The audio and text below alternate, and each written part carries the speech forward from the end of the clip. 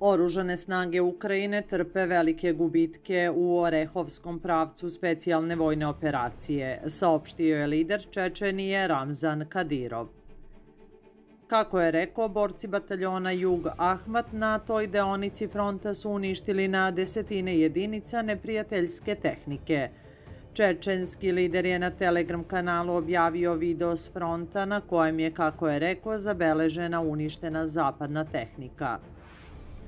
Bez obzira na sve napore neprijatelja, teškoće i gubitke koji su neizbežni na frontu, vojnici bataljona Jug Ahmat će na čelu s komandantom Musom Borzijevom biti na borbenom bedemu onoliko koliko to zahteva njihova vojnički dug, rekao je Kadirov.